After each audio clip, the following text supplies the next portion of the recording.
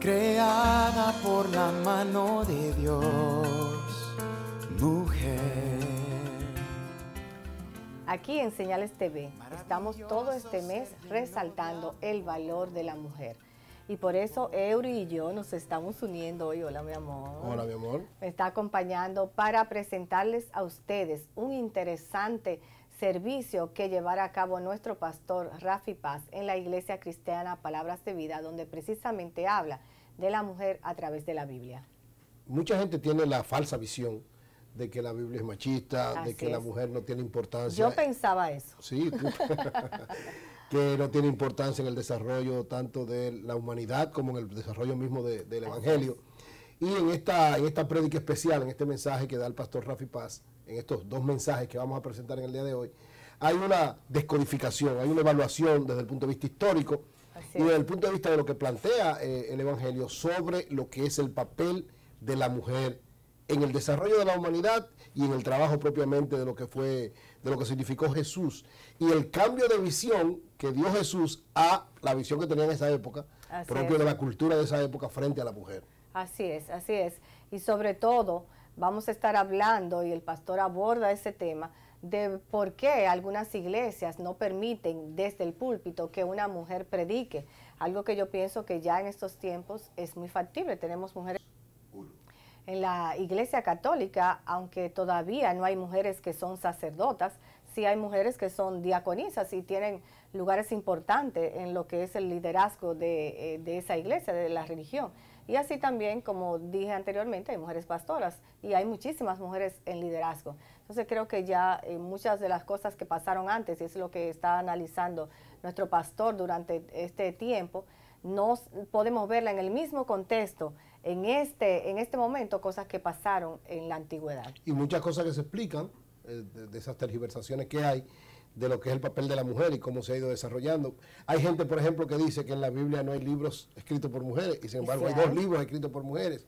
Hay gente que dice, por ejemplo, que Jesús nunca le dio importancia a las mujeres y sin embargo Sí, es todo lo contrario. Fue, rompió el esquema en ese tiempo. Y yo creo que este mes, que es el mes dedicado a la mujer a nivel internacional también, eh, como nosotros somos un canal precisamente para sembrar valores, uno de los principales valores que hay que sembrar en esta generación y en todas las generaciones, sobre todo de hombres, es Así saber es. valorar a las mujeres. Así es. Entonces creo que en este, en, en esto, en este mensaje que da el pastor hay una evaluación clara de por qué los hombres debemos valorar claramente Así lo que es. significan las mujeres y por qué las propias mujeres deben saber su propio valor y actuar acorde a eso. Así es, y porque muchas mujeres han tenido que tomar el rol del hombre muchas veces porque el hombre ha decidido abandonar ese rol que le toca y por eso hay tantos hogares vacíos de ese padre, ese cabeza, ese hombre que le tocaba estar. Y, pero, pero nada, eh, viejo, lo mejor sería como dejarlo con todo Así lo es. que fue esta prédica del pastor Rafi Paz, que es muy interesante y esperamos que todos ustedes la disfruten. Adelante. Maravilloso ser lleno de amor y poder. En nuestra sociedad actual, la mujer ha sido víctima y se ha visto reflejada en el crudo marco de la discriminación en el ámbito familiar, laboral y hasta lamentablemente en la iglesia, debido a la distorsión de la verdad establecida por Dios desde la creación del mundo, donde claramente se refleja el corazón de Dios en cuanto al valor, la posición y el lugar dado a la mujer. Sin embargo, a causa del pecado, este trajo como consecuencia que lo establecido por Dios para el hombre y para la mujer se viera afectado. Dios claramente nos muestra en su palabra cómo accionó en diversas circunstancias a favor de la mujer. De tal forma, la realidad que vemos hoy en cuanto a la discriminación de la mujer está en contra de lo que está en el corazón de nuestro Padre Celestial. Hoy, el pastor Rafi Paz nos trae el consejo bíblico sobre el rol de la mujer y de manera precisa invita a reconocer, valorar y entender lo preciada que es.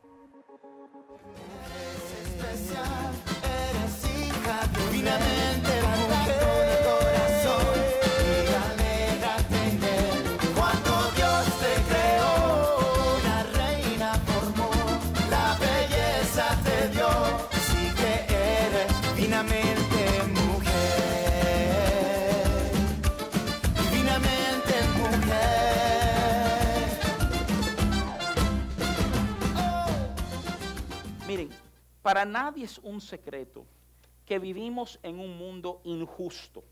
¿eh? De hecho, hay algunos apologistas, apologistas son aquellas personas que han dedicado su vida a defender la fe, que dicen que la realidad de que en el corazón de los hombres hay este clamor de que las cosas no son justas, que eso es señal de que de alguna manera el hombre fue creado para justicia, que podemos reconocer injusticia a nuestro alrededor. A veces sin que nadie nos haya dicho que una cosa es mala, como, como que nos incomodamos y nos damos cuenta que eso no es correcto. ¿eh? Hablan de eso ser una de esas señales ¿eh? en nuestra vida de que nuestro ambiente natural sí es un ambiente donde haya equidad y justicia. Y si ese es nuestro ambiente natural, probablemente no es exactamente esta tierra, ¿verdad? Porque una de las grandes lecciones que aprendemos como adultos es que el mundo no es un lugar justo. Eso, eso cualquiera aquí que tiene más de 10 años ya ha tomado alguna experiencia en la vida que le ha enseñado que el mundo no es justo. Un momentito vamos a hablar y nos vamos a enfocar mucho esta noche en, en la creación, por qué las cosas son así. Pero entro en este tema porque me urge hablarte sobre la mujer tengo interés esta noche de que, de que hablemos sobre este tema. Es un tema que algunos piensan que ya está resuelto, que socialmente las mujeres tienen derecho, por lo menos en nuestro país, pueden conducir un carro, pueden votar, pueden tener cuenta bancaria, tienen equidad con el hombre, a lo cual te respondería, ¿verdad?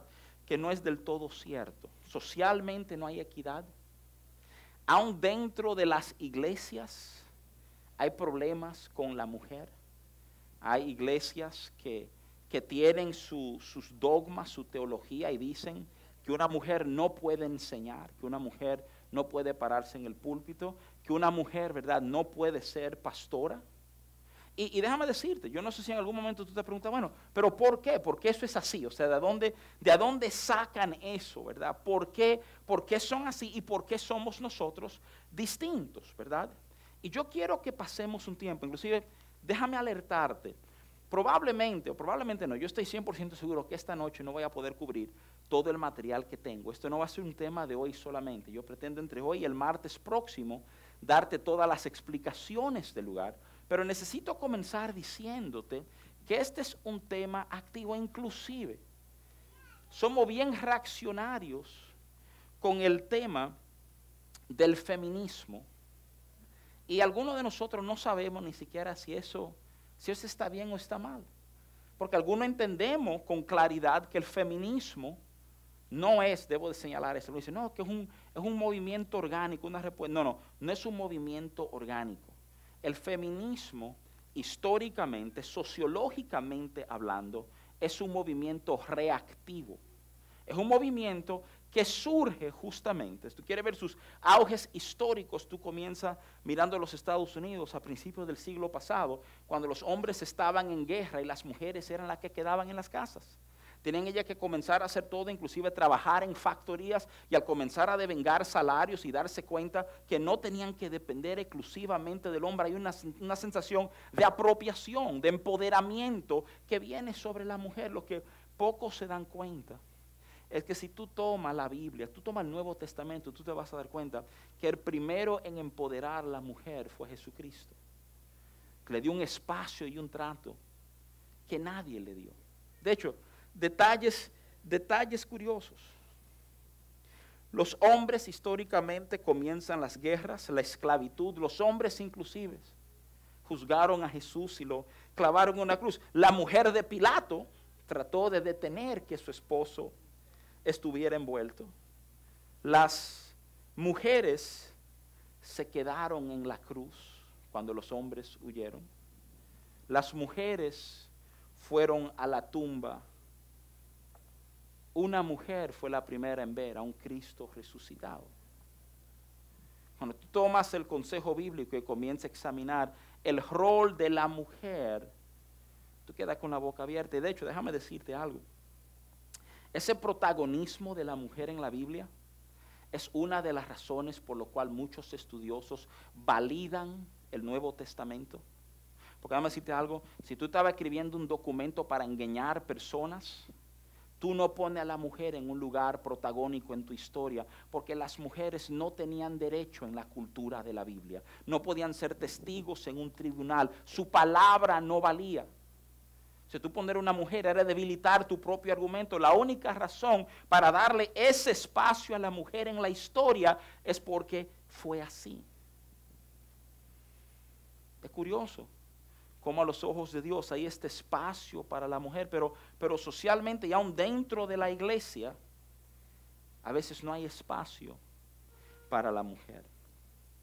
El pastor, que es, que es un hombre de Dios, es un profeta de Dios, Chris, Chris Valentin, en uno de sus libros, expone cuatro razones por las cuales él entiende que la mujer es discriminada y tomada en menos, ¿verdad?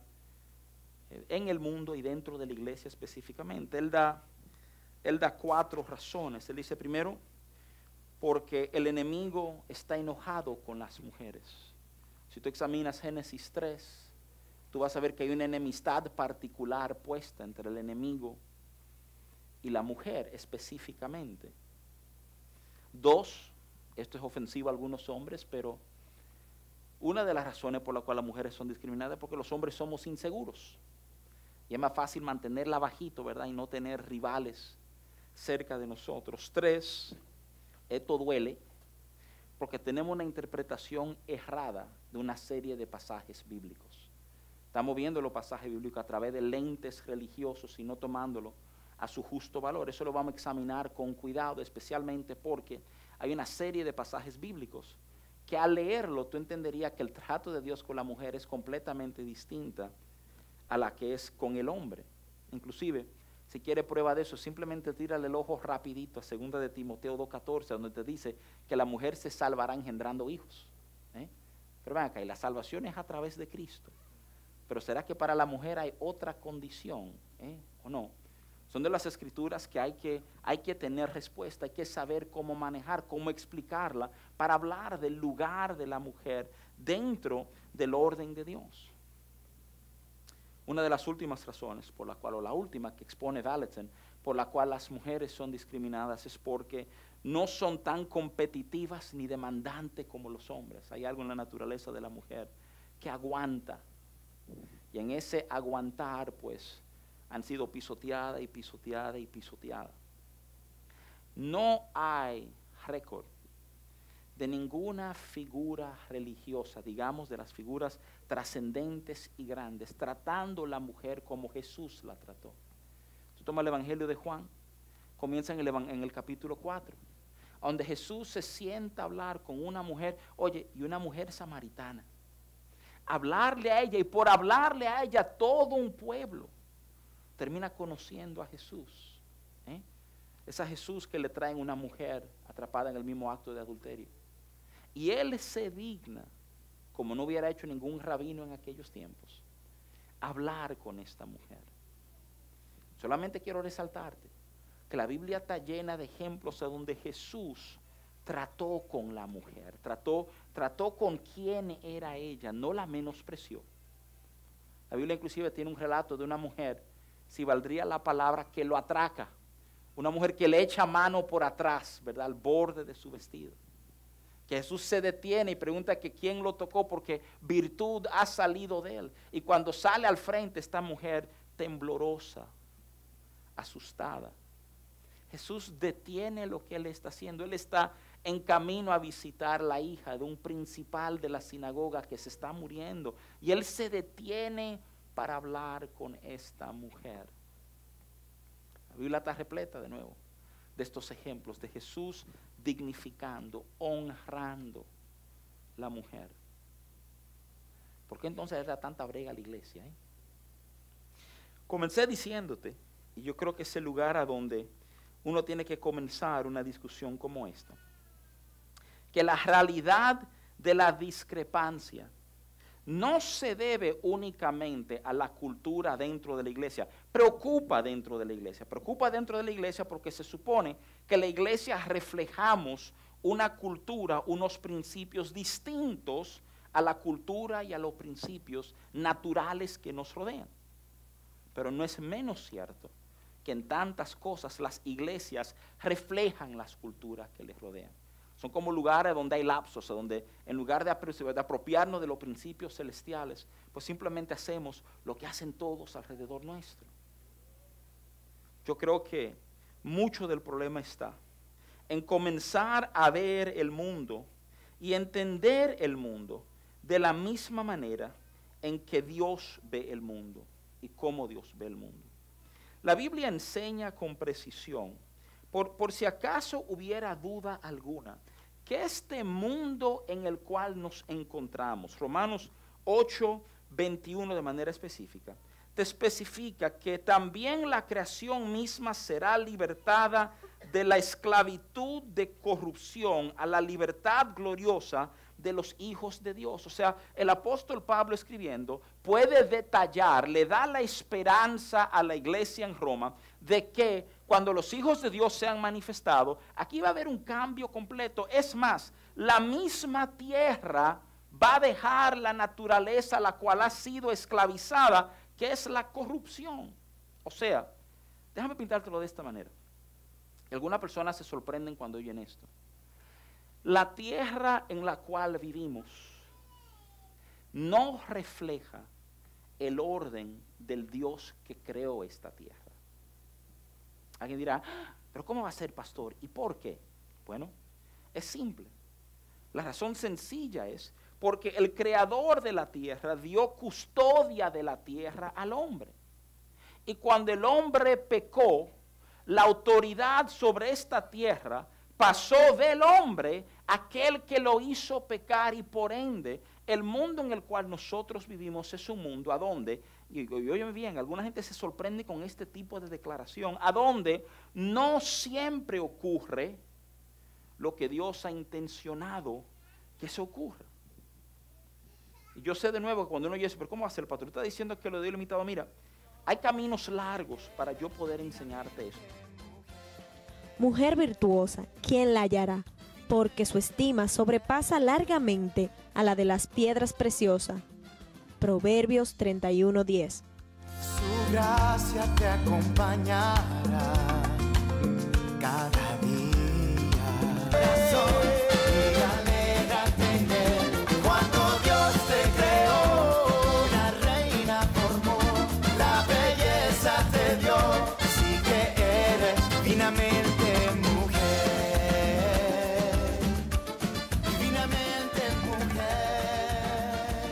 La Biblia enseña en el libro de los Salmos, es un verso que usado en múltiples ocasiones, Salmo 115, verso 16, afirma que los cielos son los cielos de Jehová, pero Él ha dado la tierra a los hijos de los hombres.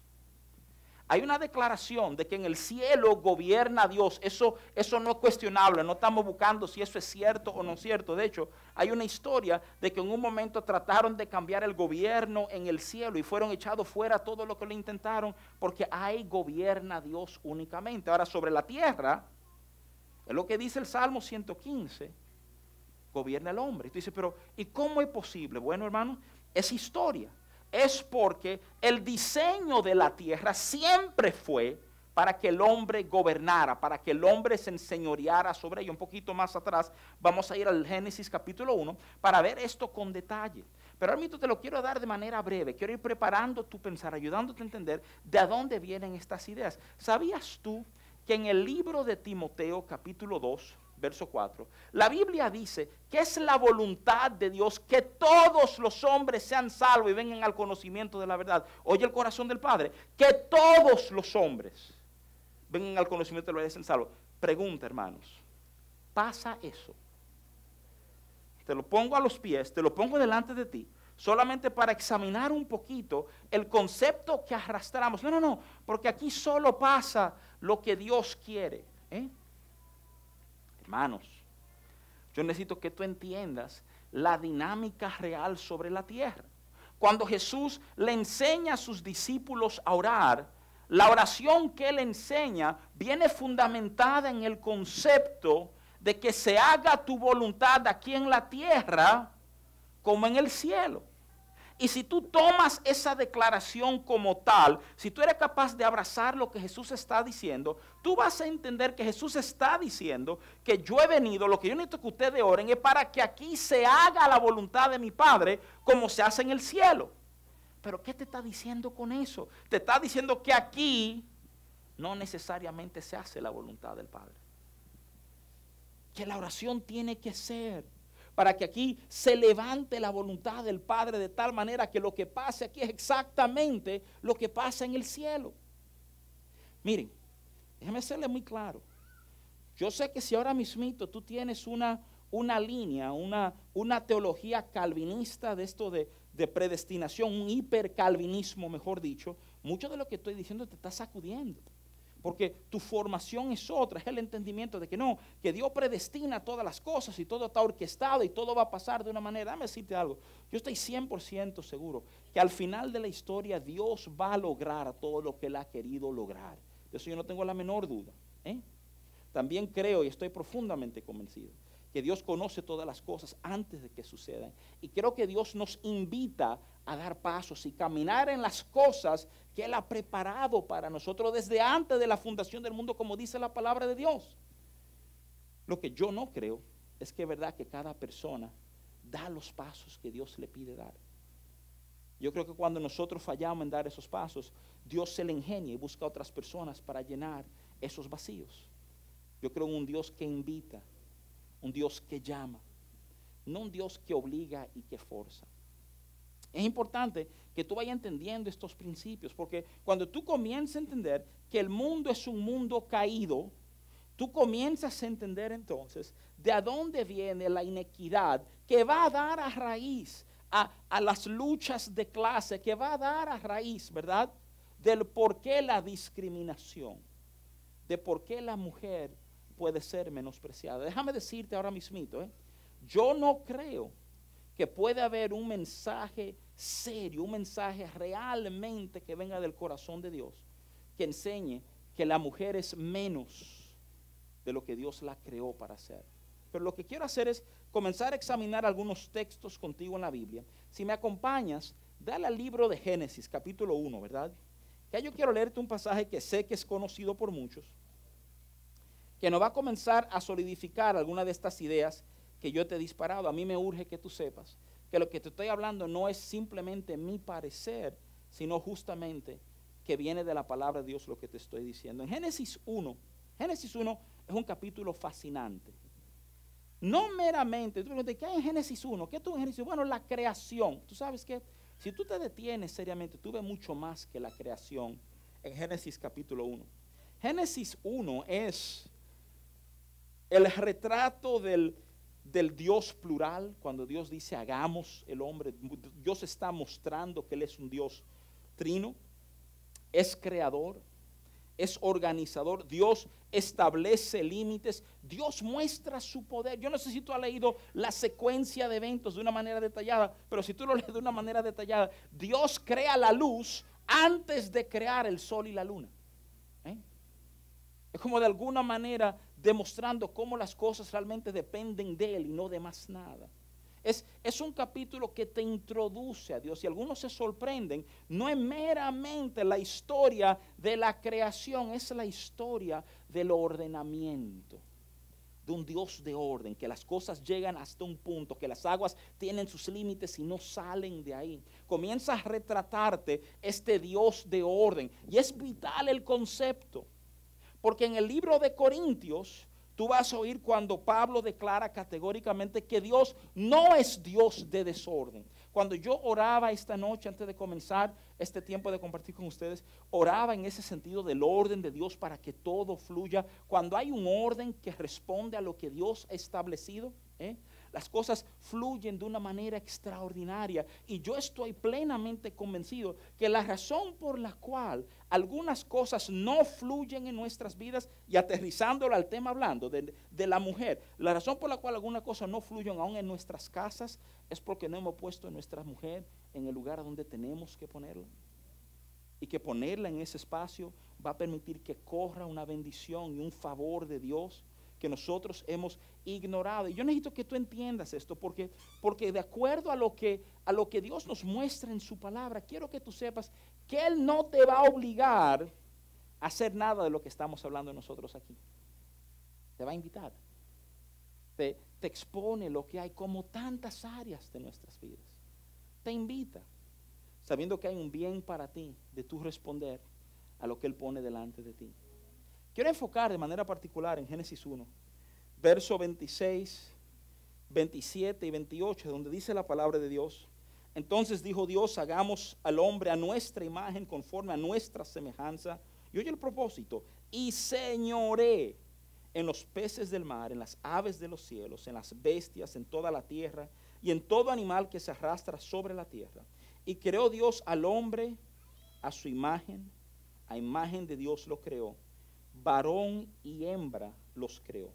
Y los bendijo Dios y les dijo, fructificad, multiplicaos, llenad la tierra y sojuzgadla y señoread en los peces del mar, en las aves de los cielos y en, las y en todas las bestias que se mueven sobre la tierra. Literalmente, cuando, cuando Dios crea al hombre en la Biblia, se da un detalle, una serie de detalles que no se da cuando Dios crea ningún otro ser viviente. Y, cuando tú lees con cuidado lo que Dios estaba creando, era porque Él no estaba creando simplemente otro ser viviente. Él estaba, él estaba creando al hombre. Y, y espero que, que yo pueda comunicar esta idea con precisión. Él estaba creando el hombre que se iba a enseñorear sobre la tierra como Él se había enseñoreado sobre el universo. Dios literalmente estaba creando a alguien con quien Él podía tener relación porque básicamente tenía la misma profesión, porque estaban en los mismos asuntos, porque habían estos temas en común entre ellos. Cuando tú oyes esas palabras para que Él señoree, no, no, porque, el Señor es Dios. Esa no fue la instrucción de Dios. Dios literalmente colocó al hombre, colocó la mujer y dijo, óigame, den pa'lante, llenen la tierra, sojuzgadla, multiplicaos, frutificad. Esto es de ustedes, llévenlo hasta donde puedan. ¿eh? Esa, es, esa es la invitación de Dios. Alguna gente se sorprenden cuando descubren en el capítulo 2 de Génesis tenemos como si fuera otro recuento de la creación. Déjame decirte esto. No es, no es propiamente otro recuento de la creación. A mí me encanta un, un amigo que dice, mira, es como si, si Génesis 1 fuera la versión de los ingenieros. Mira, esto fue lo que pasó el primer día, esto fue el segundo día, esto fue lo que Dios dice. Alguien quiere la historia completa, está ahí en Génesis 1 ahora. Si tú quieres detalles, la versión, digamos, del poeta, ¿verdad? Es lo que encontramos en Génesis 2, los detallitos, cosas cosas con más información de lo que encontramos en Génesis. Y uno de los detalles que nos va a presentar Génesis 2 es ese primer encuentro entre hombre y mujer. Y es, y es importante que tú vayas valorando esto. Y hermano, ¿y por qué hay que valorarlo? Ese fue el primero, eso no me afecta a mí ahora. Escucha por qué hay que valorarlo. Porque en este momento de la historia, el mundo está funcionando en conformidad a todos los principios que Dios deseó que funcionaran.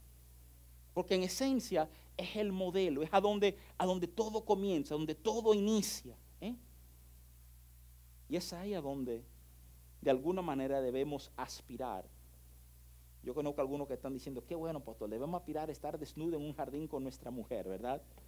Amén, ¿verdad? Hay un orden, hermanos, ¿verdad? Y vamos, vamos a seguirlo. Miren, Génesis 2 Quiero leerte, quiero leerte un pasaje desde el verso 21 al 25. Dice, entonces Jehová Dios hizo caer sueño profundo sobre Adán. Y mientras éste dormía, tomó una de sus costillas y cerró la carne en su lugar. Y de la costilla que Jehová Dios tomó del hombre, hizo una mujer y la trajo al hombre. Dijo entonces Adán, esto es ahora hueso de mis huesos y carne de mi carne, y esta será llamada varona, porque del varón fue tomado. Por tanto, dejará el hombre a su padre y a su madre, se unirá a su mujer, y serán una sola carne. Y estaban ambos desnudos, Adán y su mujer, y no se avergonzaban. Vamos a resaltarte estos puntos. Primero, recuerden que esta es la relación que va a ser usado como modelo de la relación entre Dios y el hombre, la relación entre hombre y mujer. Génesis 5 consagra, Génesis no, perdóname, Efesios 5 consagra ese paralelo. Adán no tuvo papel en hacer a Eva. Él no la hizo. La hizo Dios. Ahora, es una dinámica fascinante, porque si tú lees justamente Génesis capítulo 2, verso 7, nos dice que Dios formó a Adán del polvo de la tierra. Curiosamente, si tú vuelves a Génesis 1, tú vas a ver que con el polvo de la tierra Él formó todos los animales, incluyéndolo, lo formó de polvo. Pero cuando Él forma a la mujer, no la forma de polvo, la forma, la forma de otro material. La forma, si cabiera la palabra, de un material más fino. La toma de algo que él ya ha procesado. Algunos han entendido que la realidad es que la mujer, de que, de la cotilla de un hombre, ajá, dime tú, ¿qué es mejor? ¿Ser de la cotilla de un hombre o de lodo? ¿Eh? O sea, tú comienzas a entender, espérate, o sea, en, en, lechura de la mujer hay una dinámica muy particular. Es, es el último ser creado. Alguien dijo en un momento que es el hombre 2.0, ¿verdad? O sea, la versión, la versión mejorada, la versión refinada. Por lo menos sabemos que la materia prima que se utilizó tenía más valor que el polvo que se utilizó en ser Adán y hacer cualquiera de los animales. La única hecho de una sustancia diferente. Ahora, lo particular en la relación no es de a dónde Dios la hizo. Es qué estaba pasando cuando Dios la hizo. Ven, ¿se recuerdan Génesis 1? Tú vas a señorear sobre los peces de la, del mar y los animales de la tierra y las aves del cielo. ¿Se recuerdan eso? Si tú tomas el antesala de donde te leí, tú vas a ver que Dios le dio una tarea particular a Adán. Oye bien, Dios creó a los animales y le dio a Adán la destreza, la habilidad, nómbralos. Conforme a lo que tú le llames, esa será su naturaleza, ese será quienes son. Me imagino lo que habrá sido ese día. ¿A quién se le ocurrió el nombre Maco, verdad? O sea, o serpiente, pero, pero Adán y Dios, y ¿verdad? Pajarito, ¿verdad? O sea, y, ahí fue él nombrando. La Biblia dice que de manera curiosa, aún él nombrando y, y conociendo animales, no, no había una ayuda idónea para él. Eva llega en medio de este ejercicio. ¿Qué, ¿Qué, va a decir él de ella? Algunos dicen no, que ella es una leona, ¿verdad? O sea, ¿qué, ¿qué dijo Adán cuando la vio? Cuando la ve, la respuesta es Ishish en hebreo, varona.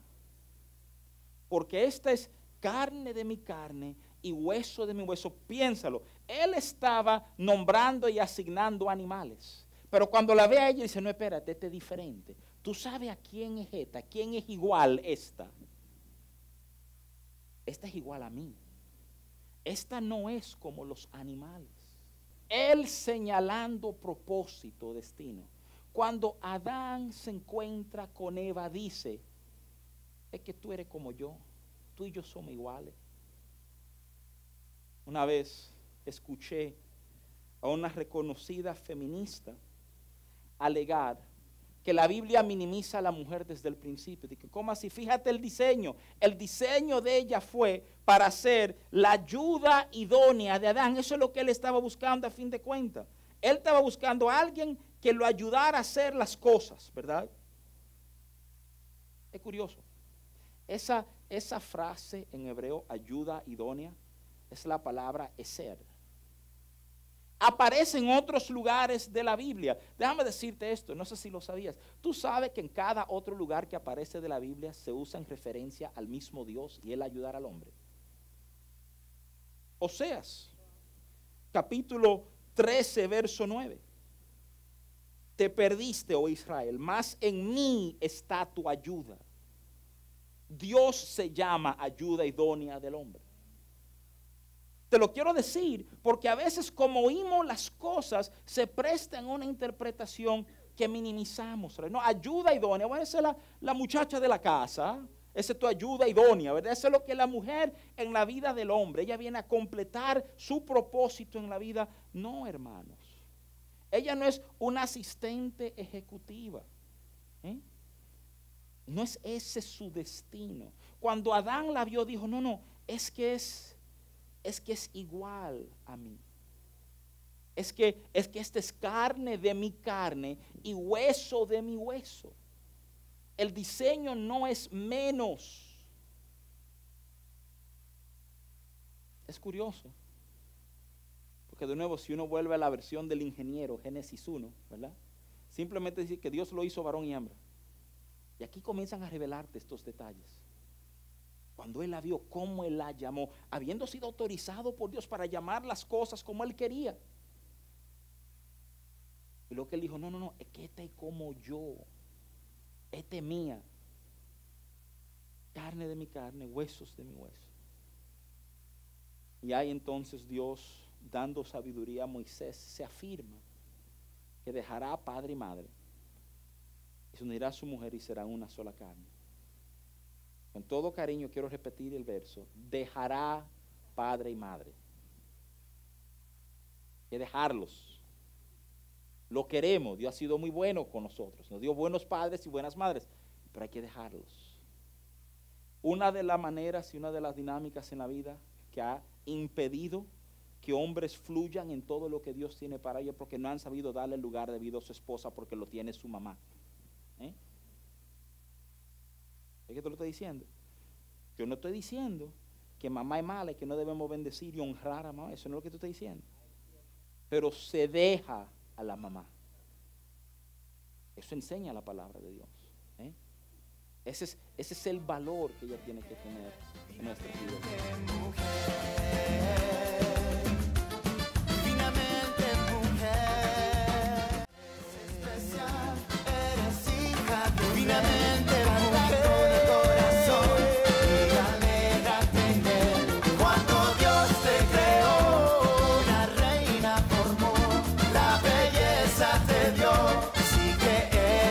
Divinamente mujer, divinamente mujer. Yo no creo que cuando una mujer llega a la vida del hombre se completó todo lo que ese hombre necesitaba para alcanzar su destino en Cristo. Yo creo que simultáneamente llegó a la vida de ella todo lo que ella necesitaba para alcanzar su destino en Cristo. Yo creo que el esposo y la esposa se complementan, ¿eh? que no es meramente asunto de él ser el visionario o el de propósito. Algunos de nosotros hemos cogido la lucha que hemos cogido porque no hemos sabido darle lugar al destino de Dios en la vida de nuestra esposa. ¿eh? No, hemos, asustado en la idea de soltarlo, de darle ese espacio a ella. ¿eh? Y por eso hemos cogido una lucha que ni siquiera hemos tenido que coger, hermanos.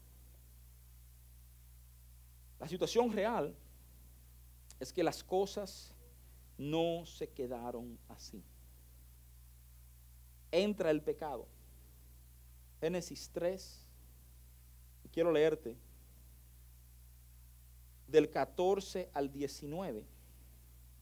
Lea así, dice, y Jehová Dios dijo a la serpiente, por cuanto esto hiciste, maldita serás entre todas las bestias y entre todos los animales del campo. Sobre tu pecho andarás y polvo comerás todos los días de tu vida. Y pondré enemistad entre ti y la mujer y entre tu simiente y la simiente suya. Esta te herirá en la cabeza y tú le herirás en el calcañar.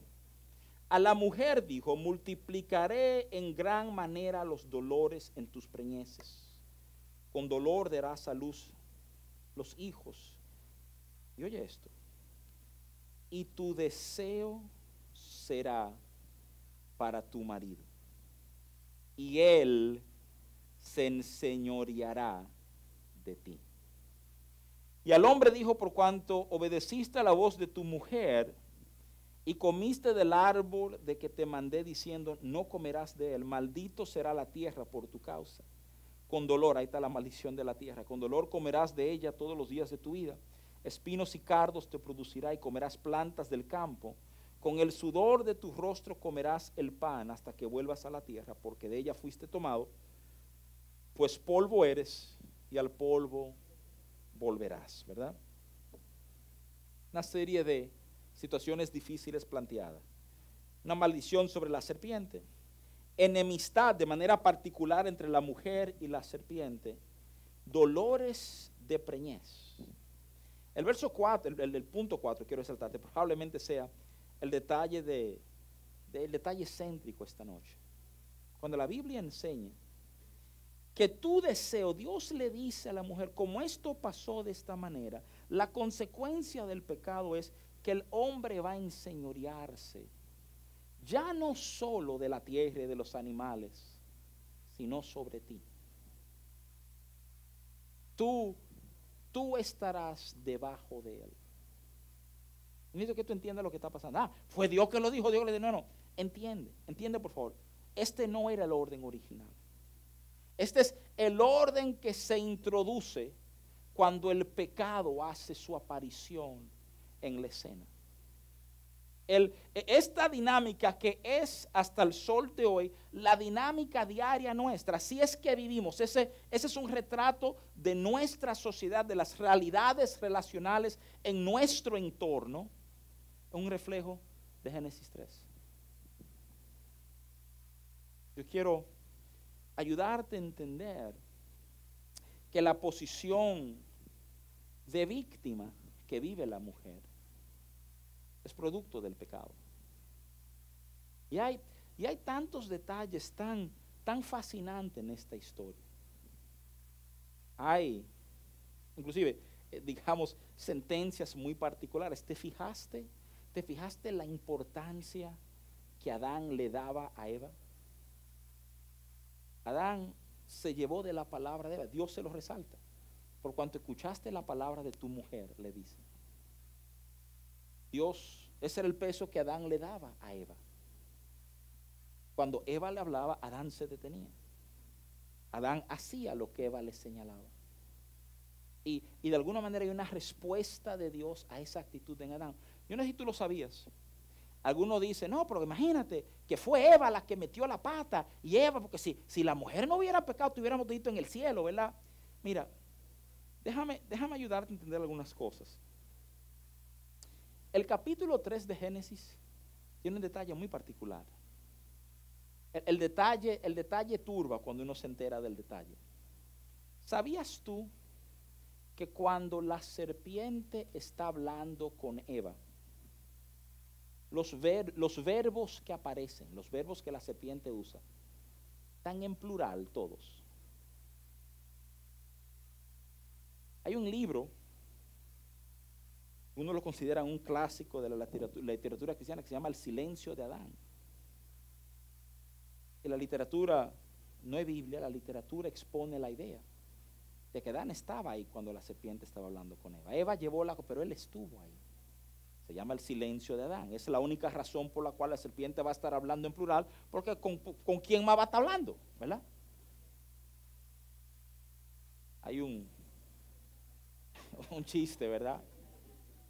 No sé si ustedes lo, han oído, de esa, de esa primera llamada en el cielo, a donde suena el teléfono, ¿verdad?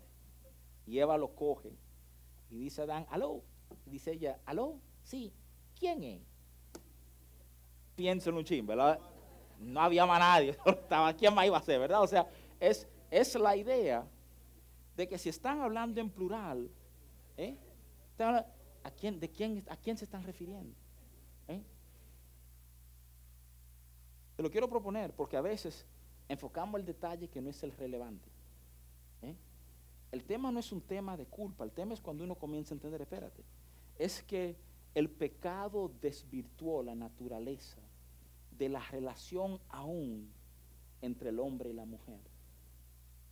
Y por ende, la relación que vemos reflejado hoy entre hombre y mujer no refleja lo que Dios estableció.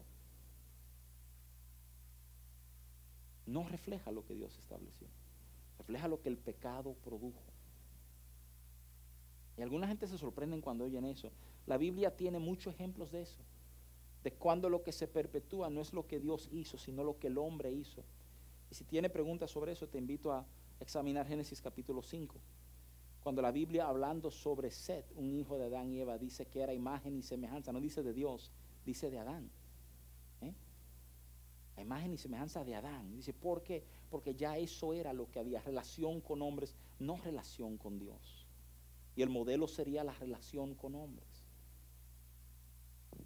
Yo quiero que tú sepas que cuando nosotros leemos algunos pasajes en la Biblia que tienen que ver con la mujer, lo validamos desde esa óptica, o lo validamos desde la óptica que así es la sociedad y así debe ser entonces también en la iglesia y se, no, se nos olvida que las cosas declaradas en la palabra de Dios tienen otros principios, tienen otras razones, otros, otros por qué.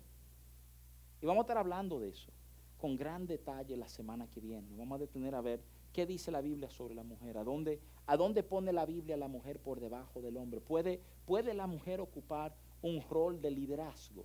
¿Eh? A lo mejor tú piensas que sí de calle, déjame decirte, no es la norma en iglesias, ¿eh? no lo es. Es un detalle fascinante, porque al no reconocer a la mujer, cuántos dones, cuántos talentos están quedando al lado. Déjame decirte algo y te quiero compartir este testimonio a modo, digamos, de ir cerrando esta noche, ¿verdad? Cerrando, cerrando esta base. Cuando, cuando yo asumí el pastorado de palabras de vida, muchos años atrás ya, yo no estaba claro en estas cosas que le estoy hablando a ustedes esta noche. Inclusive, quería proteger mucho a Marisabel de las presiones que vienen con ser, tú sabes, la esposa del pastor. Y para que no hubiera mucha equivocación, que no, tú no eres pastora, tú eres la esposa del pastor. ¿eh? Para que no, tú no te sientas obligada, ni atrapada, ni bajo demanda. Y tú sabes, ese, ese tiempo fue un tiempo, fue un tiempo difícil. ¿eh? Es curioso cómo Dios permite que pasen cosas para que tú te des cuenta. Me recuerdo inclusive las reuniones de ancianos que teníamos en ese tiempo. Las mujeres no podían ser ancianos, era el esposo el anciano y nos juntábamos todos los hombres. Y yo no me acuerdo cuál fue la reunión que me di cuenta de que cada hombre que hablaba decía, pastor, mire, yo estaba hablando con mi mujer y estuvimos orando por esta situación y esto es lo que pensamos. Me di cuenta que aunque la mujer, entre comillas, no estaban ahí porque no pueden ser ancianas, ¿verdad? El consejo de las mujeres estaba dominando la reunión de ancianos. ¿eh? Llega un momento como que tú repites, acá, ¿y qué es lo que estamos haciendo? ¿Eh? Esto es ridículo. O sea, estamos diciendo que no, pero realmente es un sí. ¿eh? Y comenzamos a, a, ceder, comenzamos a invitar. Hoy día, déjame decirte, nosotros abrazamos el concepto no de un anciano, sino una pareja de ancianos. O sea, eh, Marisabel y yo, yo, yo no sé qué fue lo que pasó. Digo, yo, yo sé, después lo entendí. Pero cuando yo entendí que Marisabel sí era, que, que Marisabel no era mi mujer para acompañarme a ser pastor, sino que en ella habían dones y talentos de pastor. ¿eh? Yo comencé a darles espacio a mi mujer. Algo drástico cambió en palabras de vida.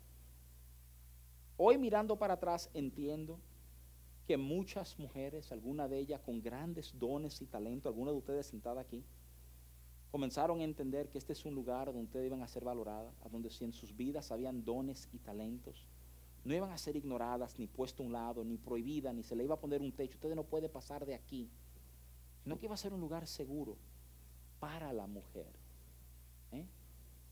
Tú comienzas a honrar a la mujer y darle a la mujer el espacio que merece.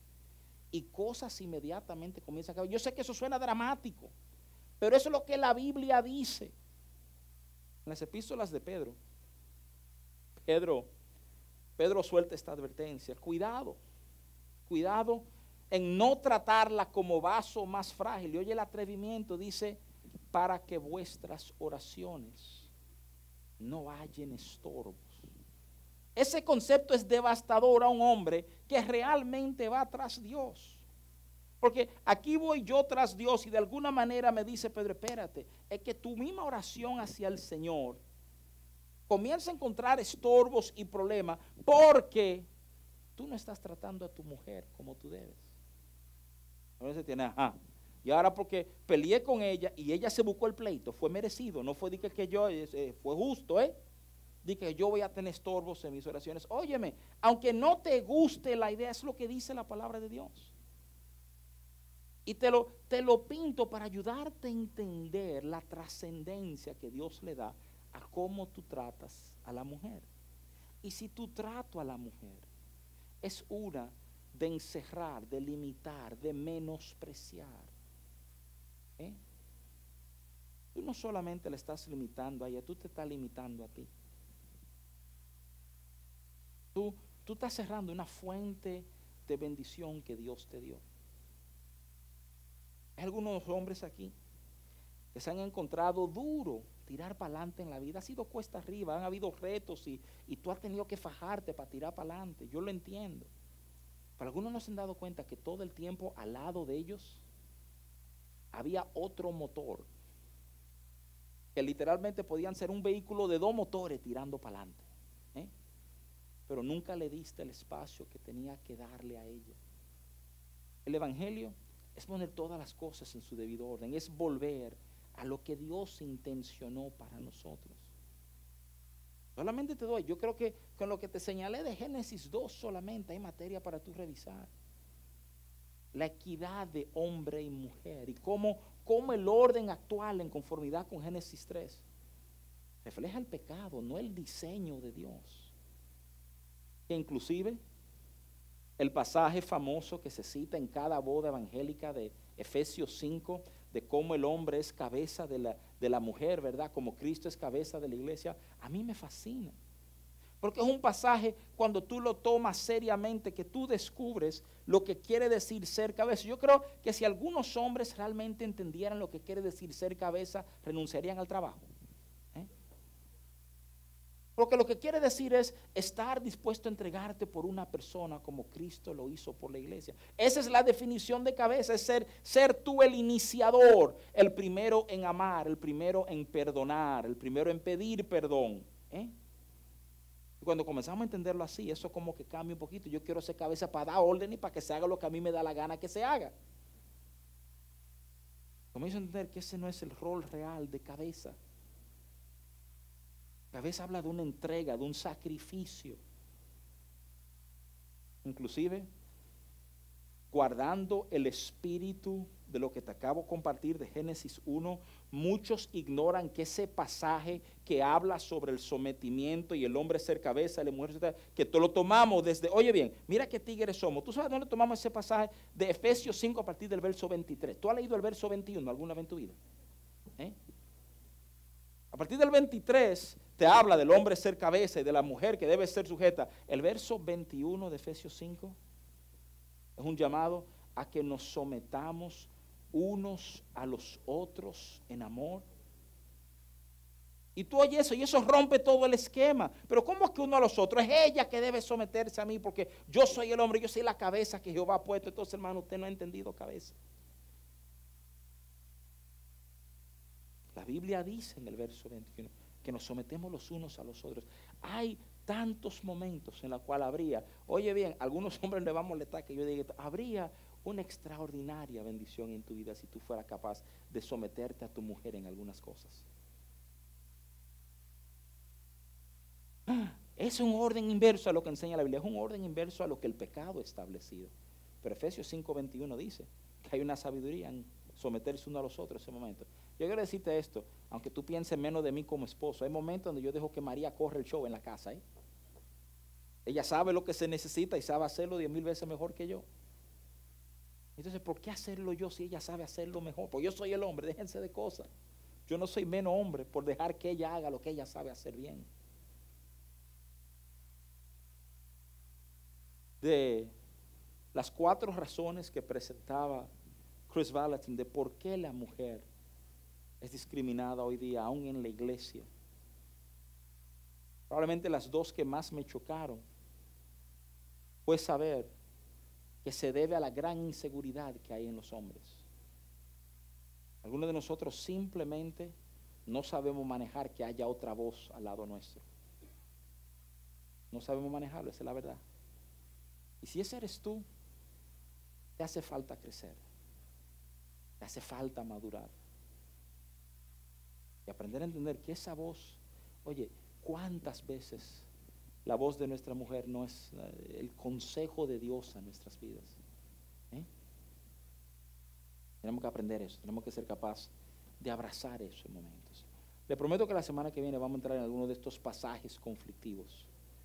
La mujer en la iglesia debe guardar silencio. ¿eh? ¿Querrá decir eso que la mujer no puede hablar en la iglesia? ¿Qué estaba diciendo el apóstol Pablo realmente? O sea, ¿qué tiene que ver esto con, con la discriminación de la mujer? Imagínate, si en la iglesia no puede hablar, entonces podrá hablar en la calle, en la casa. Entonces esa pregunta que hay que hacer para entender cómo manejar nuestras vidas, nuestras relaciones, a luz de lo que la palabra de Dios nos enseña. Amén, hermanos. creada por la mano de Dios, mujer. Especial, eres hija divinamente era conocida como una mujer que adoraba y temía a Dios. Hechos 16:14. Ella vivía en Tiatira, donde habían muchos judíos. Era una exitosa vendedora de púrpura, una variedad de tela.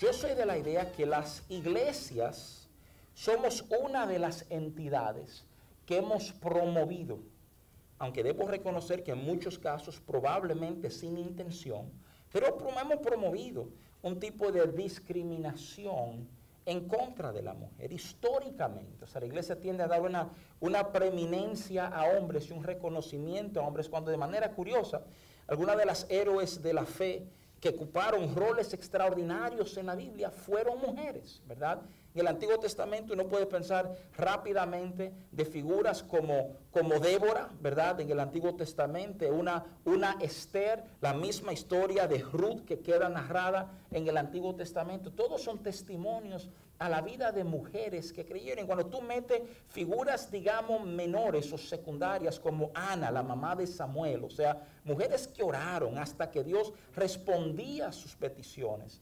Tú comienzas a entender que la Biblia no trata a la mujer como un proyecto secundario. Y en el Antiguo Testamento, en el Nuevo Testamento, perdóneme, el rol de la mujer incrementa aún más. Hablábamos y señalábamos de nuevo la semana pasada cómo mujeres jugaron roles protagónicos en el ministerio de Jesús, incluyendo siendo las primeras a encontrarse con un Jesús resucitado, las que se quedaron con él en la cruz, ¿verdad? Eh, había un hombre, Juan, por lo menos tres mujeres, o sea, una, una proporción de tres a una, ¿verdad? Ahí en la cruz con Jesús. Y comenzamos a entender todo este proceso y ver que ciertamente la Biblia dignifica a la mujer. Y alguien dirá, pero pastor, pero significa la mujer, ¿por qué, ¿por qué a veces decuadramos, no entendemos ciertas cosas? O luce ser que la Biblia pone a la mujer en una posición secundaria. Bueno, te quiero exponer hoy que hay razones por las cuales personas llegan a esas interpretaciones. Y para darte un poquito de información en cómo interpretamos la Biblia, quiero pedirte que me acompañes a 2 de Corintios capítulo 3, versos 5 al 6, que nos va a ayudar a entender un poquito de los elementos que necesitamos para correctamente interpretar la palabra de Dios. Yo, yo tengo estudios, conozco lo que es hermenéutica, ¿verdad? Que es justamente la rama de la teología que se ocupa de analizar, de leer un texto antiguo para sacar de él la correcta interpretación o hacer una exégesis, una interpretación de textos, ¿verdad? Específica. Ahora, yo te estoy hablando en este pasaje de algo que va más allá de la hermenéutica, ¿verdad? Y quiero, quiero leerte, dice justamente 2 de Corintios 3, a partir del verso 5, no que seamos competentes por nosotros mismos para pensar algo como de nosotros mismos, sino que nuestra competencia proviene de Dios, el cual asimismo nos hizo ministros competentes de un nuevo pacto, no de la letra, sino del espíritu. Porque la letra mata, mas el espíritu vivifica. Te quiero compartir ese pasaje, porque yo necesito que tú entiendas que hay, ha existido y me imagino yo que existirá por mucho tiempo. Una práctica de tomar la letra, de entrarle a la letra, cuando el apóstol Pablo se refiere a la letra, está hablando, todo el contexto te indica, de la ley de Moisés, de lo que los judíos creían, ¿verdad? Es muy posible tomar la letra, literalmente lo que Dios ha dicho, lo que Dios quiso, quiso establecer, y por tomar la letra únicamente, exclusivamente, sin la intervención de vida del Espíritu de Dios. Lo que la palabra produce, lo que la letra produce, no es lo que tú pensarías que produce. Lejos de producir un, un bienestar, un despertar, un bien para todos aquellos, dice el apóstol Pablo que la letra sola literalmente mata, esclaviza, roba la esencia de la vida. Para tú entender correctamente lo que el Señor está declarando en su palabra, no basta simplemente leer la letra, tú necesitas ese, ese acompañamiento. Y me perdonan la frasecita, porque yo sé que es como, como poco útil, pero, pero intangible, abstracto del Espíritu Santo, tratando con tu mente y con tu corazón. Porque sin ese Espíritu Santo en tu mente y en tu corazón, lo que termina dándose con la palabra es la esclavitud de hombres. Y si tú piensas que estoy siendo dramático, yo quiero simplemente ilustrarte este punto en la vida del mismo Jesús. Hay un pasaje que se encuentra en Lucas 6, en Mateo 12. Quiero leértelo de Marcos 2, del 23 al 28. Escucha, escucha este momento. Dice, Aconteció que al pasar él, o sea Jesús, por los sembraderos un día de reposo, sus discípulos andando comenzaron a arrancar espigas. Entonces los fariseos le dijeron, mira, ¿por qué hacen en el día de reposo lo que no es lícito? Pero él les dijo, ¿Nunca leíste lo que hizo David cuando tuvo necesidad y sintió hambre? Él y los que con él estaban. ¿Cómo entró en la casa de Dios siendo Abiatar sumo sacerdote y comió los panes de la proposición, de los cuales no es lícito comer sino a los sacerdotes? Y aún dio a los que, los que con él estaban. También les dijo, el día de reposo fue hecho por causa del hombre y no el hombre por causa del día de reposo. Por tanto, el Hijo de Hombre es Señor aún del día de reposo. Déjame explicarte lo que está pasando. Los judíos tenían esta, ordenanza sagrada del día de reposo. De hecho, vino en los mismos diez mandamientos. En los primeros diez instrucciones que Dios le da, tal ordenanza de guardar el sábado para Dios. Y los judíos lo habían interpretado a tal punto que decían, no, espérate, que el día de reposo no se puede hacer nada porque lo importante es el día. De hecho, para ser bien técnicos, la acusación de los fariseos es falsa. Dice, ¿por qué ellos hacen lo que no es lícito? La Biblia dice que ellos estaban arrancando espigas con sus manos. La Biblia establece en Deuteronomio 23, 25, que en el día de reposo lo que no se podía hacer era ponerle hoz a las espigas, era usar instrumentos para cosechar. Pero permitía que tú lo hicieras con la mano. Pero ya la religiosidad estaba dominando. Fíjate que el encuentro que tú tienes aquí es de unos intérpretes de la ley contra el autor de la ley. ¿eh? Los intérpretes le dicen, ven acá, ¿cómo es posible que tus discípulos están haciendo lo que no es permitido? Y es uno de esos momentos en la Biblia a donde Jesús da a entender el corazón detrás aún de la ley. Y él dice, es que ustedes están trancados, ustedes no han entendido lo que está pasando, ustedes entienden que esto se trata de preservar el día, la intención nunca fue el día. La intención no es que el hombre fue hecho para honrar el día de reposo, la idea es que el día de reposo fue hecho para honrar al hombre. Pero es fascinante cómo cuando carecemos de esa dirección de Dios, podemos tomar lo que Dios mismo ha querido establecer y las interpretaciones y las conclusiones que sacamos, lejos de infundir vida, lejos de ser de aliento, terminan tratando de controlar, terminan tratando de amarrar a la misma gente que estaba supuesto de alguna forma alentar. Déjame repetírtelo. Para tú discernir correctamente lo que la palabra de Dios está diciendo, tú vas a necesitar no solamente el conocimiento de la letra, no solamente tu lectura de la letra, eso es vital, ¿eh? Tú vas a necesitar la dirección del Espíritu Santo. Porque si no, lo que va a resultar, las palabras no son mías, son del apóstol Pablo, es muerte y no la vida que estábamos todos buscando. Déjame darte inclusive. Hay una razón por la cual estoy haciendo esto. Estoy tratando de enseñarte cómo alguna gente han mal enfocado algunas verdades que la Biblia enseña. Déjame darte otra ilustración, ¿verdad? De, discernir a medias, de no tener una visión completa, ¿verdad? De lo, que, de lo que Dios está tratando de establecer. Tanto en el libro de Efesios, capítulo 5, verso 5, como en el libro de Colosenses, capítulo 3, verso 22, el apóstol Pablo le escribe a los esclavos. En el contexto histórico de la Biblia, en las sociedades a donde se escribe, la esclavitud se practicaba. Y Pablo le escribe a los esclavos, les manda a que le sirvan a sus amos como si le sirven al Señor. ¿eh? Déjame preguntarte algo. ¿Querrá esto decir que la Biblia aprueba, apoya la esclavitud? Una pregunta que vale la pena hacer. En, en el siglo XIX, 620 mil hombres murieron defendiendo este concepto. Ese fue el total de muertos de la guerra civil norteamericana que se perdió por la causa de esclavitud. Muchos de los que pelearon en el sur, la parte que perdió, la parte que apoyaba la esclavitud, eran creyentes que usaban esos dos versos para enseñar que la Biblia apoyaba la esclavitud. Bien curioso.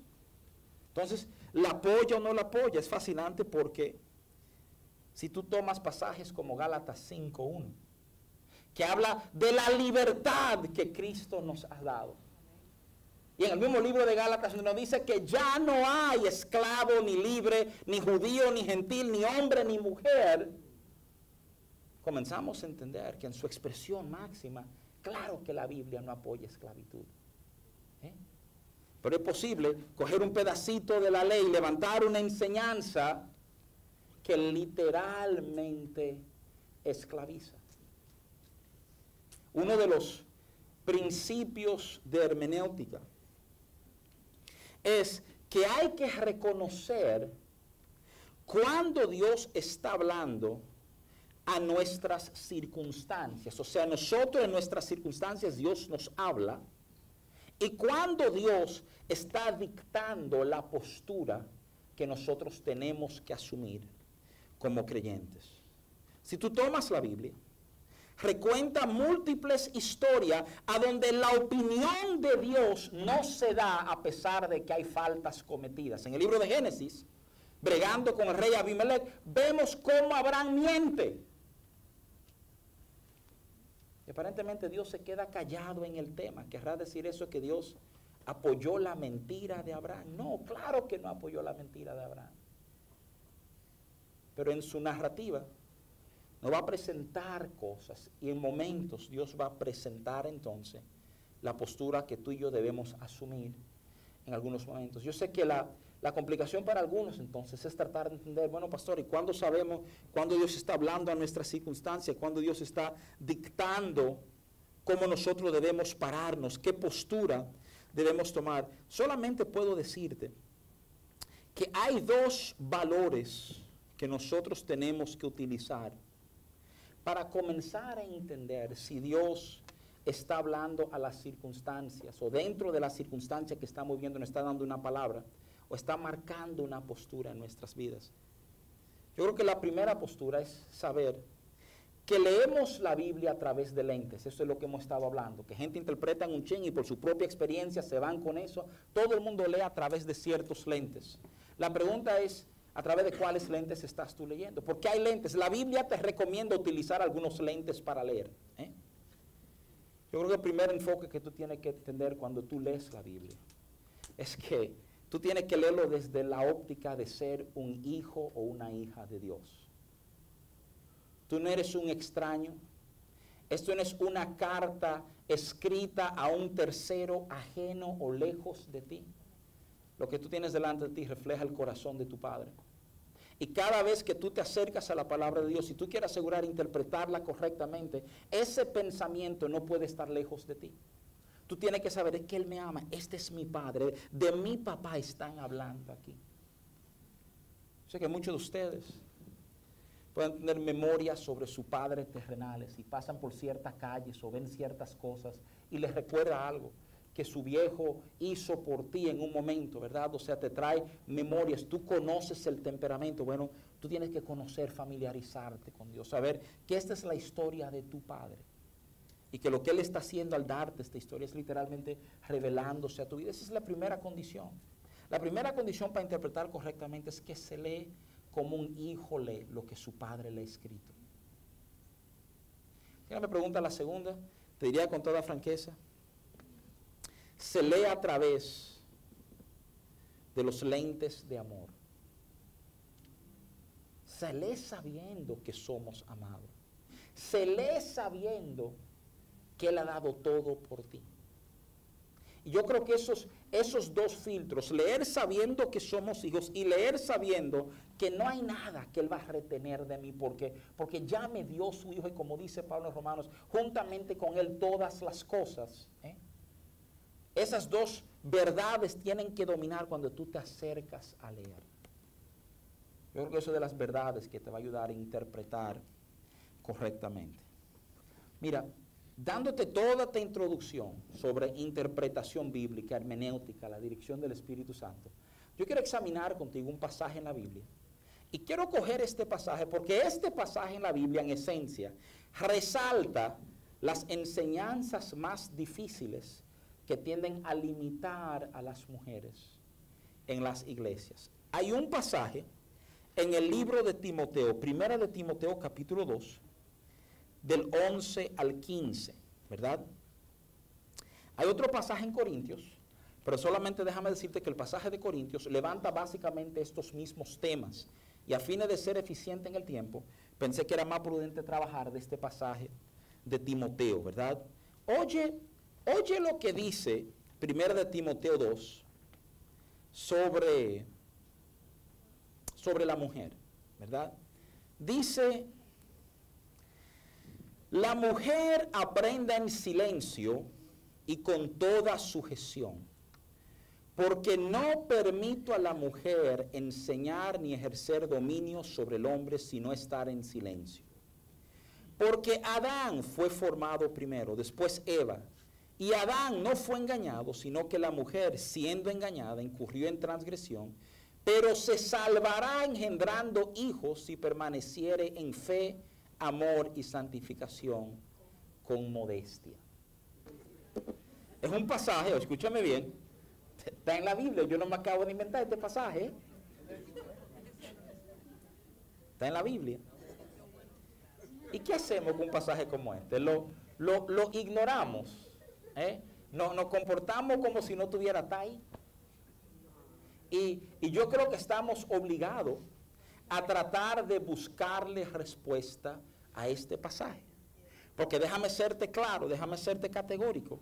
Es de los pasajes que muchas congregaciones utilizan ¿eh?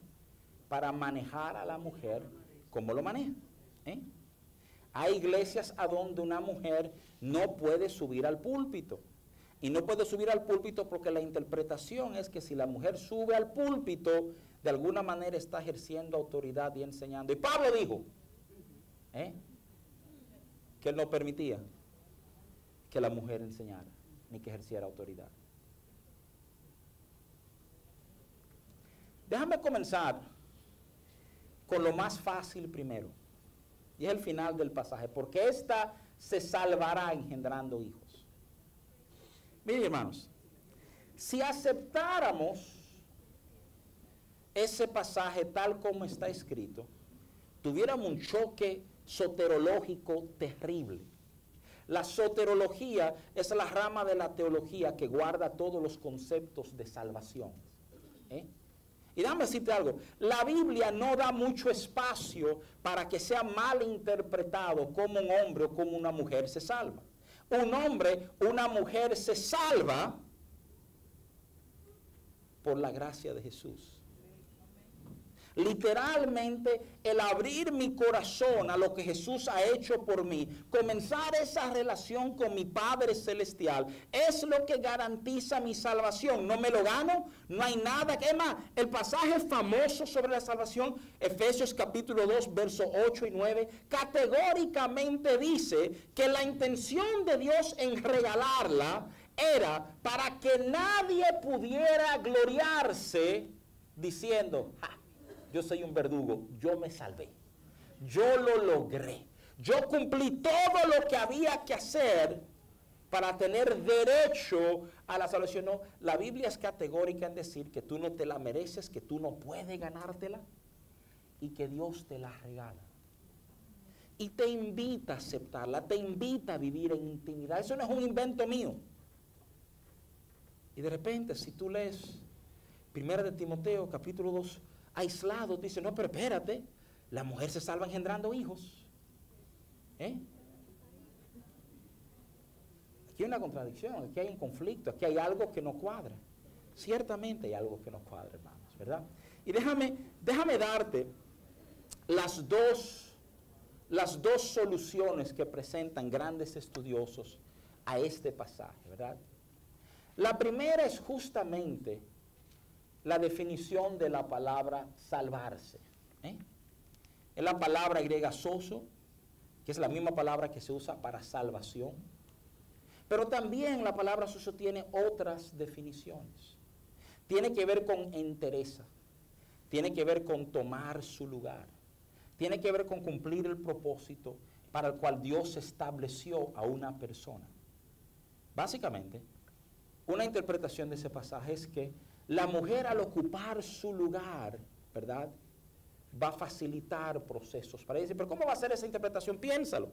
Génesis 3, cuando la mujer queda en, en, desdicha por el pecado, antes de Dios dar sentencia al hombre, a la serpiente y a la mujer, Dios profetiza, Dios profetizó y dijo que es de la descendencia de la mujer que vendrá el que va a herir la cabeza de la serpiente.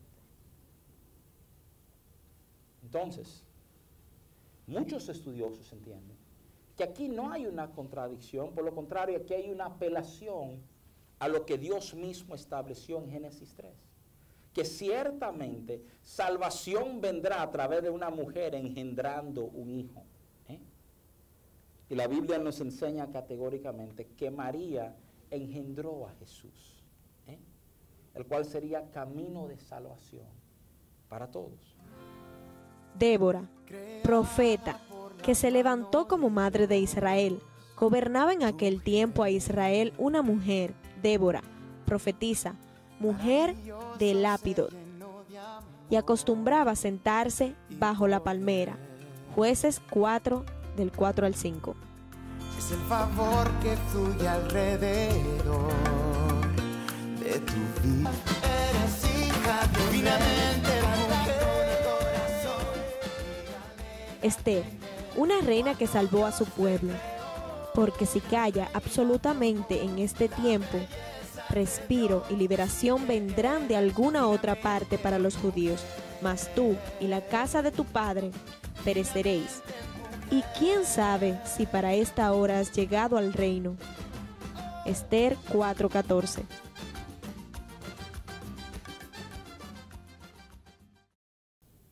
Óyeme bien, yo soy fiel creyente de que cuando tú encuentras algo en la Biblia que aparentemente contradice otras cosas en la Biblia, tiene que haber una explicación. ¿Por qué?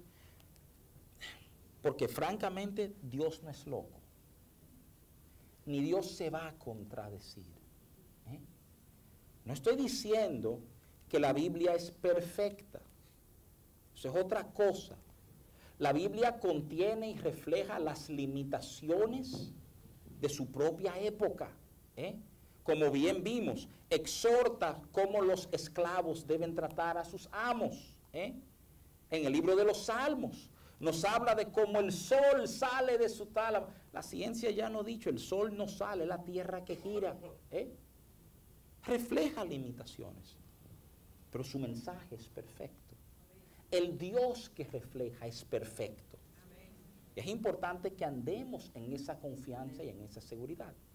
Claro, hay dos temas todavía que no resolvemos. El tema del silencio ¿eh? y el tema de la autoridad. Vamos, vamos a examinar esto del silencio. A mí me encanta cómo, cómo lo del silencio queda plasmado en Timoteo. El, el, silencio es fascinante como queda expresado, porque el apóstol Pablo literalmente afirma, óyeme, yo Pablo le estoy diciendo que no permito que la mujer enseñe, que la mujer guarde silencio. Él, él se establece autoría, ¿verdad?, de esas frases.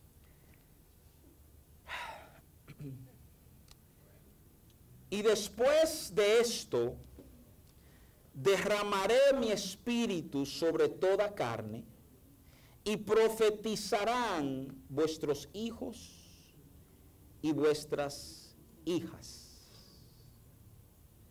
Vuestros ancianos soñarán sueños y vuestros jóvenes verán visiones y también sobre los siervos y sobre las siervas derramaré mi espíritu en aquellos días. Eso es textualmente lo que dice Joel 2, 28 y 29, la profecía sobre el derramamiento del Espíritu Santo. En Hechos 2, 18, cuando la cita Pedro, dice, y de cierto sobre mis siervos y sobre mis siervas, en aquellos días derramaré de mi espíritu y profetizarán. Es muy difícil profetizar en silencio. ¿eh? Déjame comenzar declarando eso, ¿verdad? Creemos en un mover del Espíritu Santo, a la vez creemos en orden en la iglesia. Pero cuando tú comienzas a entender y examinar el mover de Dios, el derramamiento del Espíritu Santo, tú comienzas a entender que no hay distinción. La palabra de Dios incluye a las mujeres no meramente en el derramamiento, sino en la profecía, el hablar.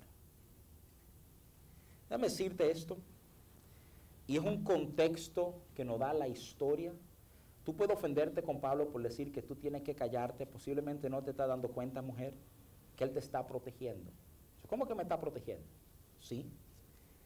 En la mayoría de las religiones practicadas en esas épocas, las mujeres no tenían participación alguna. Es más, ¿tú quieres saber cuán serio es este concepto? En el mismo templo en Jerusalén había un lugar llamado el atrio de las mujeres. Se llamaba así no porque era el lugar de las mujeres, eh, se llamaba así porque las mujeres no podían seguir más allá de ese punto, y era el patio. ¿eh? No entraban en el templo. ¿Cómo no entraban en las sinagogas. ¿Cómo aprendían las mujeres sobre las verdades de Dios? ¿Sabe cómo aprendían? Le tenían que preguntar a sus esposos qué se había enseñado, qué había pasado, qué pasó en, el, en la sinagoga, qué enseñaron en el templo. No son inventos míos, eso es, eso es historia, eso es costumbre y tradiciones de la época. Entonces cuando Pablo dice que guarden silencio, de alguna forma él está diciendo, quédate ahí, pero no hable mucho. Para que no se note, para que no llamen la atención, para que ustedes no distraigan. ¿eh? Pero no nos damos cuenta que el gran apóstol que conocía el templo en Jerusalén está diciendo que ten ahí las mujeres. ¿eh? Ahora, yo no creo que deben hablar, pero que estén ahí. El concepto es fascinante. Porque el pasaje es que uno entendía que de alguna manera menospreciaba a la mujer y decía, tú no puedes decir nada. Tú comienzas a entender que para su época era probablemente el paso singular de mayor relevancia de la mujer conocer de Dios que se había dado. Entren, siéntense ahí, tranquilitas, escuchen. El último tema, mire ya, el, el último tema es el tema de autoridad. Y déjame decirte de calle que yo estoy completamente de acuerdo en que la mujer no debe ejercer autoridad sobre el hombre. ¿Verdad? Es el concepto bíblico. Y déjame decirte algo. Si alguien piensa que Marisabel estar parado aquí adelante es Marisabel ejerciendo autoridad, ¿cuán equivocado están? ¿Tú sabes, tú sabes lo que es Marisabel parada en el púlpito enseñando lo que realmente refleja? Marisabel sujeta a la autoridad que Dios ha puesto en la oficina pastoral de esta iglesia. Cuando Mireya se para allá adelante a dirigir alabanza y hablar, ¿eh? ¿ustedes creen que Mireya lo hace porque ella le da la gana imponiendo su propia autoridad? ¿O está fluyendo bajo la autoridad que le ha sido delegada por las autoridades de la casa? ¿Eh? El concepto es que la mujer enseñar, si lo tomamos estrictamente en el ámbito que el apóstol Pablo habla, sí hay un problema. Hay un problema cuando hay rebeldía, cuando yo lo hago a mi manera y ya. No solo en la mujer, en el hombre también.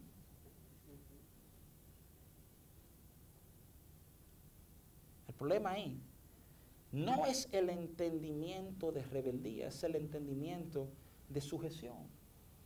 Creemos como iglesia en una autoridad delegada. Esta noche Elsa Reyes se paró y dirigió el tiempo de diezmos y ofrendas. Elsa no debe enseñar. Elsa se movió bajo la autoridad que el pastor de la casa delegó sobre ella. Bueno, tú comienzas a entender el principio de delegación, tú comienzas a entender cómo es que una mujer puede estar adelante y de alguna manera no es una falta de respeto a los que están presentes.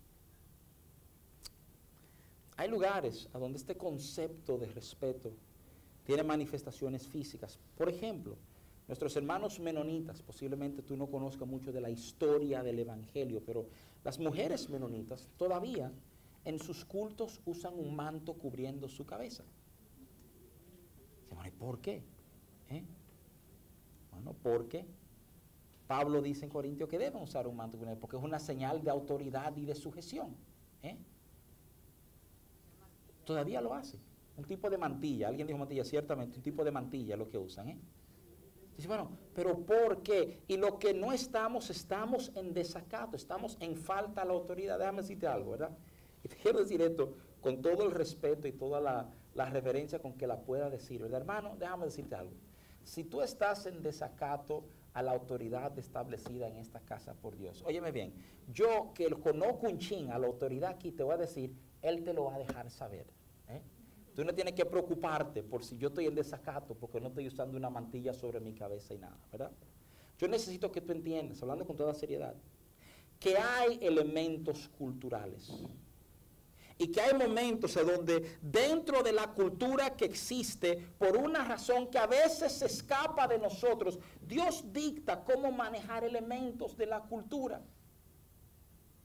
También tenemos que entender que los paradigmas y la verdad de Dios, los lentes de hijo y de amor dicen exactamente lo que dice Gálatas 3, del 26 al 29. Cuando te dice esto, pues todos sois hijos de Dios por la fe en Cristo Jesús. Porque todos los que habéis sido bautizados en Cristo, de Cristo estáis revestidos. Ya no hay judío ni griego, ni hay esclavo ni libre, no hay varón ni mujer, porque todos vosotros sois uno en Cristo Jesús y vosotros sois de Cristo. Ciertamente, linaje de Abraham sois y herederos según la promesa. ¿Cuál es la relevancia de este pasaje? O sea, no es porque dice que el hombre es igual que la mujer, no. La relevancia para nosotros es mayor todavía. Déjame tratar de explicártelo de esta manera, ¿verdad? El mundo del Nuevo Testamento tiene una división enorme. la división se refleja entre las personas de Pedro y de Pablo. Básicamente, Pedro quedó funcionando como el tipo de apóstol a los judíos. Y lo, interesante de eso es que muchos judíos, aun abriéndole su corazón a Cristo, ¿eh? Seguían guardando la ley de Moisés. Algunos se fanatizaron inclusive. Y decidieron que había enseñarle a todo el mundo que tenían que guardar la ley de Moisés. Esto era un problema terrible. Porque Pablo no bregaba con los judíos al principio. Él, él, se cansó de bregar con los judíos. Él bregaba con ellos, se incomodó y dijo, pues terminó esto. Yo voy hacia el mundo gentil. Ahora, ya qué cosa curiosa. Pablo va al mundo gentil que no tiene el mismo marco de referencia que los judíos. No conocen a Abraham, a Isaac, a Jacob, a Moisés. Esa no es su historia. No conocen el templo. No saben que hay un atrio de mujeres y tú no debes pasar más allá del atrio de las mujeres. Y en estas iglesias, Pablo comenzó a enseñar la libertad que hay en Cristo Jesús sin incluir la ley. Y de hecho, el libro de Gálatas se escribe porque en Gálatas él comenzó a hacer lo que te estoy diciendo, comenzó a enseñarle la libertad que hay en Cristo Jesús. Y entonces comenzaron a visitar unos judíos de la capital diciendo, mira, todo esto de Cristo está chévere, pero ustedes saben quién es Moisés. Y rápidamente algunos comenzaron a tomar las costumbres de los judíos y Pablo se entera. Y lo que tú tienes en Gálatas es la reacción de Pablo porque alguien trató de meterle a Gálatas algunos conceptos de la ley cuando él lo que le había enseñado era Cristo. Ahora, déjame serte claro, tú que quieres guardar las reglas de la mujer que establecía el Antiguo Testamento, lo que Pablo le pidió a Timoteo, que siguen los lineamientos judíos. Tú que quieres guardar todo lo que los judíos hacían con las mujeres, ¿verdad? ¿Sabes tú que tú eres gentil, no judío? ¿Lo sabes? Que un judío te vería y diría, tú no eres de lo nuestro. Que tú bajo lo que Pablo escribe a los Gálatas. Diciendo que aquí todo el mundo es lo mismo. No hay libre y esclavo, no hay hombre y mujer, no hay judío, no hay griego. Todo el mundo es lo mismo, revestido de Cristo. Y marca esta señal de igualdad, de interés. Mis hermanos, déjame serte muy franco. Yo creo, ¿verdad?, que hay espacio para disensión. Yo lo creo, yo creo que hay elementos de nuestra fe que no se negocian. La salvación es únicamente a través de Jesús. No hay un camino alternativo. ¿eh? Yo creo que la palabra, la Biblia es la palabra infalible de Dios. ¿eh? yo no negocio con nadie. Ahora, hay tantas otras cosas a donde yo puedo tener hermanos que piensan diferente a mí. Este tema de la mujer es uno de esos temas donde piensan diferentes. Pero yo quiero y he querido hablarte como te he hablado las últimas dos semanas pues yo necesito que tú entiendas por qué palabras de vida se maneja como se maneja con las mujeres. Yo necesito que palabras de vida sea un lugar seguro para mujeres. Para que cuando aquí lleguen mujeres con grandes dones y talentos en el Señor sepan que es un lugar seguro donde van a poder desarrollar sus dones y pueden aspirar ser parte del liderazgo de la iglesia que tú sepas que nuestro deseo es reflejar a este Dios plural, este Dios que no ve hombre y mujer, que tu género no te discrimina, por lo contrario, si hubiese estado aquí la semana pasada hubiera entendido la particularidad de tu género a los ojos de Dios, como, como tú eres de un material superior inclusive al hombre, ¿eh? como, como el corazón de Dios. ¿eh? Es que nuestro trato hacia ti sea un reflejo del trato de Dios hacia nosotros. ¿eh? La mujer no es para ser pisoteado, ignorada. Y, y, tengo que decirlo, yo sé que es un pensamiento un poquito chocante, difícil. Me fascina como algunos de estos lugares que son tan rajatabla con las mujeres enseñar desde un púlpito, no tienen problema que las mujeres dirijan las escuelas dominicales de los niños. Como decir, bueno, enséñenle a nuestros niños, pero a nosotros no, ¿verdad? Yo no quiero poner límites. Yo conozco mujeres que son superiores que yo enseñando la palabra de Dios, que son gente eh, de oración, que son mujeres consagradas. El Nuevo Testamento te habla de Eunice y de Loida, sin los cuales no hubiéramos tenido a un Timoteo. Te habla de, de Priscila, la esposa de Aquiles, ¿verdad? que lo acompañó inclusive corrigiendo a Apolos en el libro de los Hechos. Lidia en Filipos, sin el cual no hubiera iglesia en Filipos. Oh, este, este temita de la mujer y autoridad y el apóstol Pablo, léanse Romanos 16, cuando él saluda a Febe, diaconisa de la iglesia en Roma. Una mujer puesta por Pablo en una posición de autoridad. ¿eh? Es importante que estos detalles resalten. Pero cuando tú conoces estos detalles, el cuadro comienza a aclararse. ¿eh? Dios tiene propósitos contigo, mi hermano. Y, y, mi corazón, mi oración para ti es que tú no comprometas eso, no minimices eso por nada. Y es importante que tú seas capaz de abrazar y te comiences a ver como Dios te ve.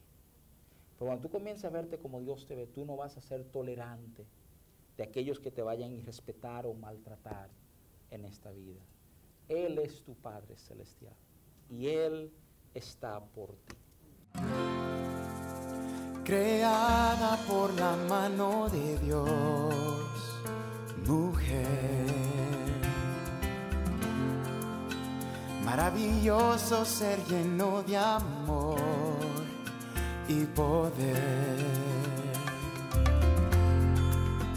Es el favor que fluye alrededor de tu vida.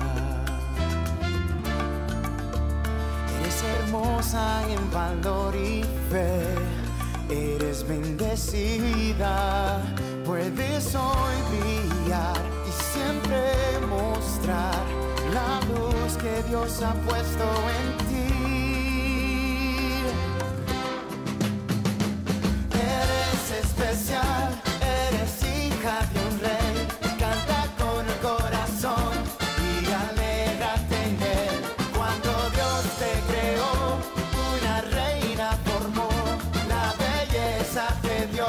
Sí que eres divinamente mujer, divinamente mujer. Oh, oh. Su gracia te acompañará cada día. Tu amor bendición traerá